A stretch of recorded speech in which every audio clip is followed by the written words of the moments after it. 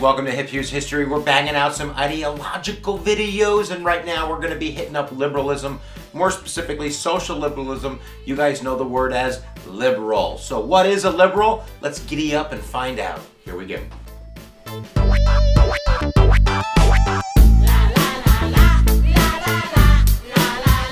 Alright guys, if you've watched the previous lecture we did on libertarianism, I mean you can click that right there, it'll take you to watch that. I'll even pause for you.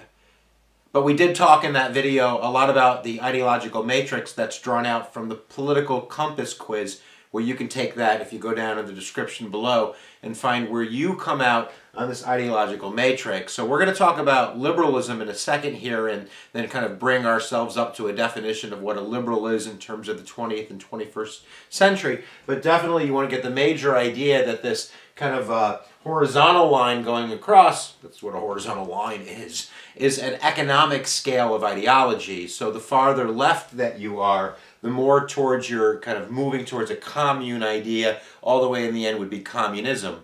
If we're somewhere in the center, we generally believe in some sort of mixed economy where there is some sort of government um, presence, government regulation, government oversight to make sure that the system is safe and fair. The farther to the right that you go, you're moving towards kind of a free market, pure capitalistic, maybe libertarianistic um, idea about government's role in the economy, which is there really shouldn't be any, that it gets in the way, it's bureaucratic, it slows things down. And then we have this um, vertical line, that's the other one, Hughes, where we're talking about more of a, a, kind of a government role when it comes to social order. We have authoritarianism way up on top, so we would find um, a Stalin character towards the left and to the top. Hitler, who believed more in uh, kind of a uh, a business model when it came to uh, the economy is going to be to the right a little bit. And then the farther down we go past the center, we actually move towards a word called anarchism, where we don't believe that there should be government limits at all in terms of um, on order and social expression and speech and that sort of jazz. Most of us fall in the center, right? We believe in free speech, you know, unless you're standing on the corner saying, I like to blow up babies, let's go blow up babies then you might want to you know take that guy in for questioning. Let's take a look now that we have our minds kind of wrapped around that ideological scale about the term liberalism. And then it's going to get confusing.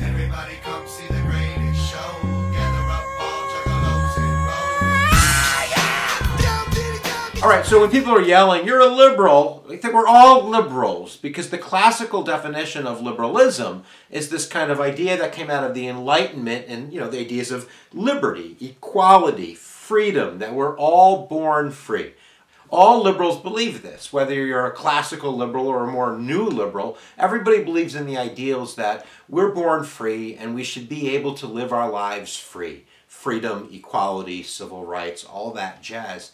The difference is classical liberalism sees all government really as limits on that liberty. And really what we're talking about, the difference between a classical liberal and a new liberal is the government's role when it comes to the economy. A classical liberal is somebody who believes in a laissez-faire free market. That government interference not only is going to get in the way of the economy growing and going to end up redistributing um, wealth, really a socialistic idea, but it's also going to pick winners and losers, and therefore you really don't have a free market system. A free market system would solve all of our problems and would eventually lead to full employment. That's what a libertarian would say. Really what we have is we kind of have this model coming in the 1700s and the early 1800s of classic libertarianism. That we have a, a role of democracy, we have a republic, Everybody is free. Everybody can, you know, kind of express themselves and live out the lives they want to live. If they work hard enough, you know, the American dream concept, right? That you will have, you know, your liberty blossom into all of this uh, great um, outcome. And I think that what happens is in the mid 1800s, it really starts with writers like Charles uh, Dickens, and then at the turn of the century, the muckrakers in the United States like, like an Upton Sinclair, who begin really exposing um, really what this liberty looks like in a free market. And what they come to the conclusion, and what a lot of people come to the conclusion is, is that people really aren't free. Just because you say they're free and there's no government interference in their lives, that doesn't mean they can live out that freedom because they're being mired by ignorance, poverty, disease, all of these variables that the free market isn't solving Therefore, people are living a mundane, miserable experience. and whether they work, you know, 100 hours a week, um, it doesn't matter. They're never going to get out of that poverty. It's only one in a, you know, 100,000 that rises to the next level in society. It's really a classist view of the world um, in a sense. So, um, beginning in the 1860s and the 1870s, first in Europe and then the United States, we begin to change our definition from a classic liberalism to a social liberalism. That in order to have liberty, in order to have freedom, in order to uh, live out your dreams, there needs to be a basic framework where that can exist. A classical liberalist views coercion coming from the government. A classic liberalist sees the government as the one that's in your way. A social liberalist believes, yes, we need limited government. We don't want totalitarianism. We don't want a government that, you know, takes away all your private property or impedes your freedom of speech. We believe in all of those things on that social order scale.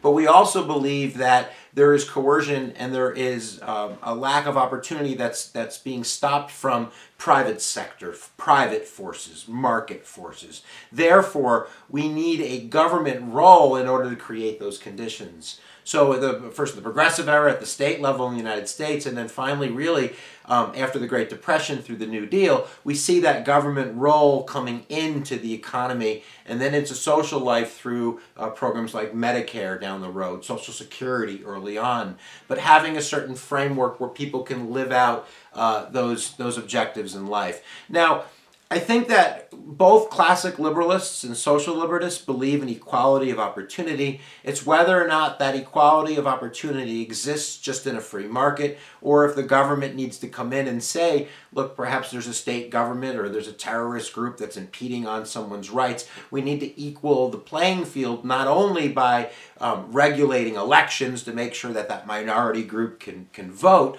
but also by making sure that um, their civil rights are not being violated by the law. So we need an active judicial system. One of the quotes that I'm going to leave you with, is we're, we're kind of getting really deep into liberalism here, is uh, Madison's quote about tyranny of the majority. He warns that in a republic, the tyranny of the majority that you have to worry about. And the classical kind of definition of that is the classical liberalist definition that really you're worrying about the majority being the lower classes controlling the mechanisms of government to, in a sense, rob Peter to pay Paul. That's the tyranny of the majority. There's a focus on private property. And I think that really the and the new liber, uh, liberals in the 20th century see that tyranny of the majority and the forces that are controlling the government, which to them is the wealthy and the, the upper class, the white, that is using the system, especially in the you know uh, first half of the 20th century, to deny other people their freedom. Therefore, we need an active role of the federal government in order to take care of that problem so people can live out their existence to the full capacity that their, their skills offer.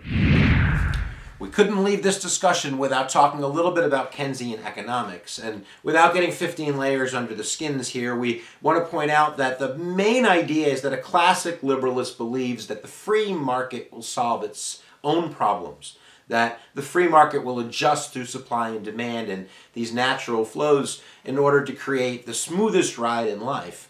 And really, it's the Great Depression after World War I around the world that creates these conditions where the free market isn't solving those problems, where you're getting unemployment of 25, 30%, that you're getting um, really, you know, terrible situations, situations that are really ripe for revolution. Keynesian uh, is, a, is a British economist who, who wrote about his ideas um, that really argue that the government has to step in when private business is not and by coming in and creating jobs programs. And again this is violating kind of that private property idea because it's taking money from peter to pay paul for the job. But that in a sense will pump money back into the economy to create the um, artificial i guess you would say demand um, where that will need a bigger supply. So therefore the market will then come in to create that supply and then the government can start to, to pull out you know, when FDR took over in 1932, I think unemployment was about 30%.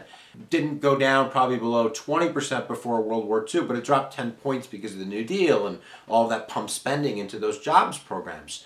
Um, but World War II, I think government spending went up something like 56% between 1940 and 1941, and the unemployment you know, rate was cut in half. That's really, I guess, war liberalism.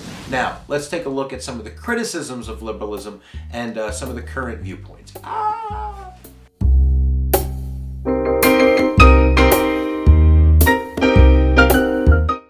The main criticism is going to be that number one, you're violating liberalism by being liberal because you're violating that tenet of private property, especially with a progressive income tax, something that's taking, you know, from Peter to pay for Paul.